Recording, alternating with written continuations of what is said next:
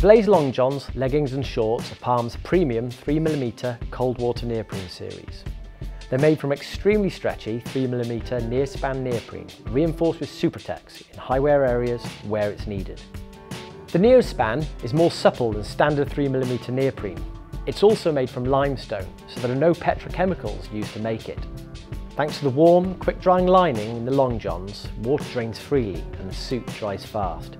Has a dry-to-the-touch feel, so you won't get that clammy, wet wetsuit feel when you put it back on for your next session.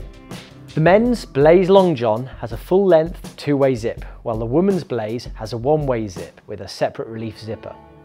The Blaze pants and shorts are lined with plush thermospan pile and both are cut higher at the back to suit a paddling posture.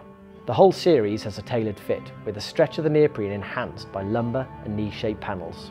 GlideSkin neoprene seals make a gasket-like contact with your skin, and with the glued and blind stitch seams they help reduce the flushing of water through the suit.